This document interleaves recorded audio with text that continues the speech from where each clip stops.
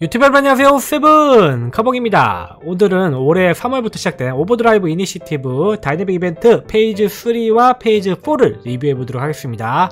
혹시 phase 1과 phase 2를 모르신다면 지난 영상을 찾아보세요. 그럼 같이 보시죠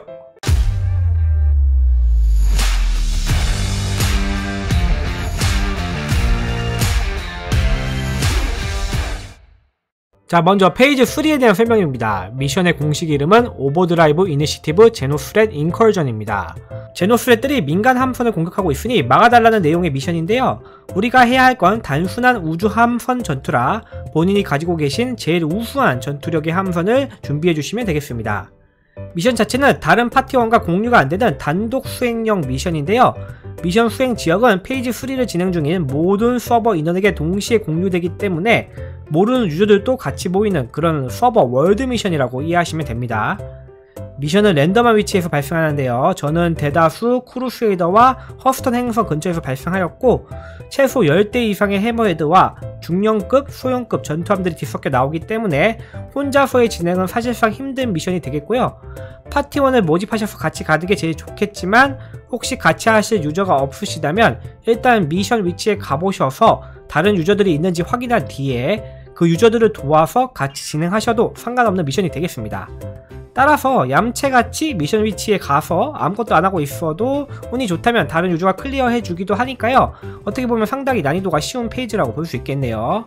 이런 phase 3는 개인별로 총 1-5부터 5-5까지 총 5번 진행하셔야 되고요. 개인별로 진행되는 서버 공용 미션인 만큼 각 미션별 난이도는 크게 다르지 않다고 이해하시면 좋겠습니다 자 그럼 이제는 phase 4에 대해서 설명해 볼게요. phase 4는 재미있게도 크게 두 개의 미션으로 구분이 되는데요. 첫 미션 이름은 Overdrive Initiative XenoThreat Surveillance입니다. XenoThreat들이 스탠턴 행성의 인공위성들을 해킹하려는 시도를 막아달라는 내용인데요. 일단 미션 준비물로는 전투력이 뛰어난 함선과 FPS 총기류 그리고 혹시 모를 버그 대비용으로 해킹칩 하나 정도 구비하셔도 나쁘지 않습니다 그렇게 준비를 마치시고 미션이 찍어주는 특정 인공위성 위치에 가시면요. 거기에 있는 XenoThreat 전투기들을 물리치고 인공위성 내부로 직접 들어가셔야 합니다. 인공위성 입구에는 이런 지뢰들이 가득 깔려 있으니 이왕이면 가져오신 총기로 멀리서 제거하시고 들어가시는 걸 추천드리고요. 인공위성 재활성화 버튼을 눌러주시면 인공위성 주변에 해킹을 다시 활성화하려는 XenoThreat 전투함들이 등장하기 시작하는데요. 이 중에서 저희의 미션 진행도를 저지하는 메인 함선은 XenoThreat의 Vanguard 함선이라 이 함선부터 빨리 잡아주셔야 미션이 실패하지 않습니다. 그렇게 우주 전투를 하시다 보면 미션이 자동으로 진행되어 클리어 되니까요. 이 미션도 좀 넓은 의미에서는 우주 전투에 가까운 미션이라고 보시면 됩니다. 미션은 총 1-3부터 3-3까지 있는데요. 모두 혼자서 할만하다는 분들도 계셨고 3-3은 도저히 혼자서는 못하겠다는 분들도 계셨기 때문에 미션 난이도는 사람마다 체감이 좀 다르신 것 같고요. 3-3까지 다 클리어하셨으면 이제는 다른 이름의 미션이 등장하는데요. 미션 이름은 오버드라이브 이니시티브 이머저시 앳 카레아가 되겠습니다. Kareah 보안 스테이션으로 가셔서 진행하시는 FPS 전투 미션인데요. 이 미션은 반드시 FPS 전투를 위한 장비와 해킹칩을 준비하셔서 가셔야 하고요. Kareah 보안 스테이션에 도착하셔서 내부에 진입하시면 여러 XenoThreat 전투원들과 FPS 전투가 시작되는데 그것을 뚫고 중앙에 있는 해킹 컴퓨터의 위치로 가시면 XenoThreat이 진행 중인 해킹 컴퓨터를 꺼주셔야 하고요.